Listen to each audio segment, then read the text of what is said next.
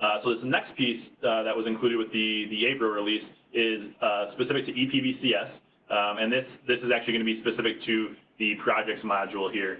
Um, so, so basically what you can now do is perform revenue recognition, what if analysis with some of the pre-built functionality. Um, and so basically you can kind of analyze different revenue recognition and, what that actually pertains to for different contract projects here. So ultimately, I think the goal here is to help the decision-making process um, and, for taking up a, kind of a contract project here.